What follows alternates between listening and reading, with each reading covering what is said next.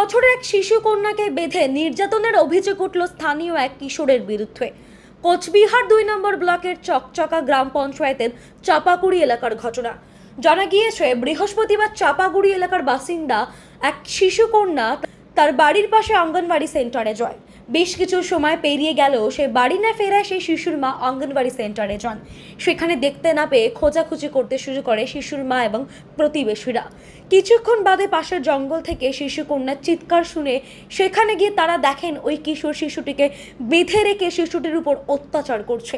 শিশুটির মাও প্রতিবেশীদের দেখতে পেয়ে চম্পট দেয় সেই কিশোর। শিশুটিকে আহত অবস্থায় উদ্ধার করে কোচবিহার এমজেএন মেডিকেল কলেজ ও হাসপাতালে ভর্তি করা হয়েছে। এই ঘটনায় পুন্ডিবাড়ি থানায় অভিযোগ দায়ের করেছে শিশুটির পরিবার। পুরো ঘটনার তদন্ত শুরু করেছে পুলিশ। জঙ্গলে নিয়ে যায়। জঙ্গলে নিয়ে যায় গলা টলা টিপ দিছে গলা কাটে গেছে তারপরে থাপুর থুপুর দিছে নাকি মুখ টুক খুলে গেছে। হ্যাঁ বলেন হ্যাঁ, বলেন বলেন, বলেন, দিদি। বলেন। কে কারা ছিল তারা? কে ছিল? কে ছিল? একটা ছেলে ছিল। হ্যাঁ। চেনেন তাকে চেনেন চেনেন। মানে কি- কি মানে কোথায় নিয়ে গেছিল? বাড়ি থেকে দূরে নিয়ে গেছিল কোথাও? কি বাড়িতে ছিল না সেন্টারে গেছে। সেন্টার থেকে আসতে ছিল হ্যাঁ। একা একাই আসতে ছিল হ্যাঁ একাই বাড়ির পাশে সেন্টার? বাড়ির পাশে।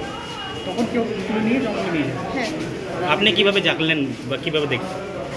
আমি আমার আমার মেয়ে আমি খোঁজ করতে যাব না। হ্যাঁ। যা দেখি নাই সব ছাত্র বাড়িতে এসে গেছে তারপর ডাকতেছি। তারপর জঙ্গল থেকে আমার মেয়ে ডাকে মা মা। আমি কি জঙ্গলে আওয়াজ আসতেছে? তারপর সবাই মিলে ঢুকে দেখি আমার মেয়েকে বাইন্দে রাখছে। তারপর আপনাকে দেখে কি তারা পালিয়ে যায়?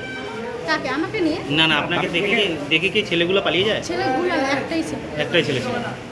আপনি কি চেনেন ছেলে ছেলেটাকে চিনি আমার মেয়েও ছিল আমি মানে ওখানেই বাড়ি বয়স কত? বয়স কেমন বয়স পনেরো। বছর। আপনার নামটা কি? আমার নাম চন্দনা বিশ্বাস।